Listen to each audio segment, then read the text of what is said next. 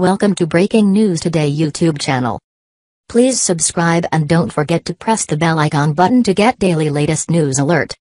Click on the CC button to get automatic subtitle in video if you're facing the difficulties in listening sound. When John Urschel retired from the NFL at age 26. In 2017, he had earned an impressive $1.8 million over just three seasons with the Baltimore Ravens. His salary was as high as $600,000 in 2016, but you wouldn't know it from his lifestyle, the offensive lineman, who drives a used Nissan Versa that he bought for $9,000. Chose to live on less than $25,000 a year. Dot. That means Urschel was living off of just 4% of his salary in 2016. In other words, he was saving about 96% of what he made. He didn't live on a modest $25,000 a year and drive a used car because I'm frugal or trying to save for some big purchase, Urschel said. It's because the things I love the most in this world, reading math, doing research, playing chess, are very, very inexpensive.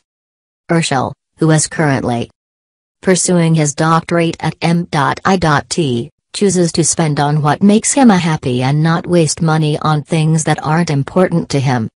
It's a popular strategy among super savers.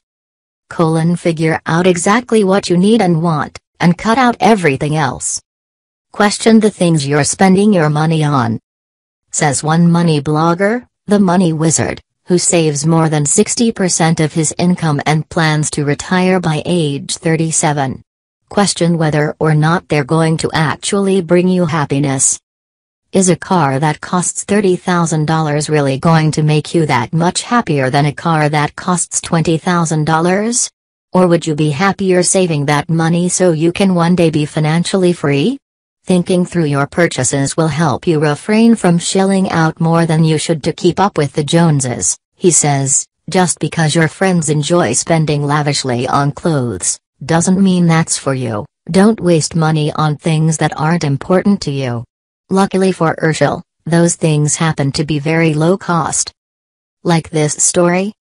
Like CNBC make it on Facebook. Exclamation mark. Don't miss. Why an NFL player who retired to pursue a PhD at MIT chose to live on $25,000 a year. When John Urschel retired from the NFL at age 26. In 2017, he had earned an impressive $1.8 million over just three seasons with the Baltimore Ravens.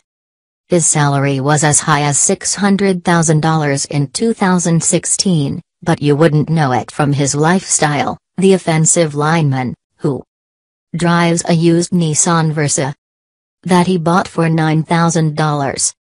Chose to live on less than $25,000 a year. Dot. That means Urschel was living off of just 4% of his salary in 2016. In other words, he was saving about 96% of what he made. He didn't live on a modest $25,000 a year and drive a used car because I'm frugal or trying to save for some big purchase, Urschel said.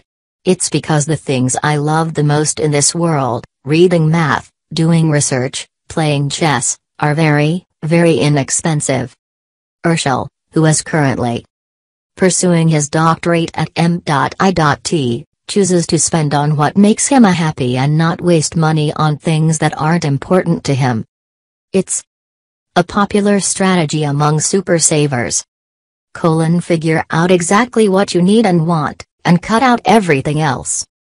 Question the things you're spending your money on. Says one money blogger, the money wizard, who saves more than 60% of his income and plans to retire by age 37. Question whether or not they're going to actually bring you happiness. Is a car that costs $30,000 really going to make you that much happier than a car that costs $20,000? Or would you be happier saving that money so you can one day be financially free?